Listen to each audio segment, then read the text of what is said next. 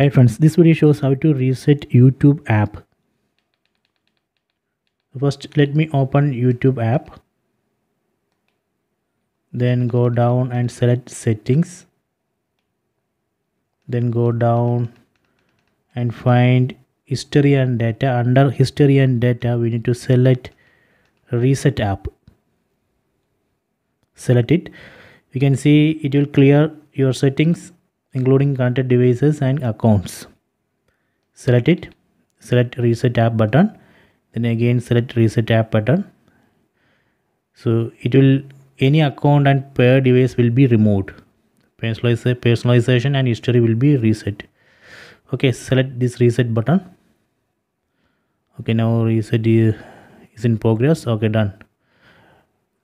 App youtube app reset has been completed we need to again sign in select sign in then select the account. Okay done. So this way we can reset use youtube app.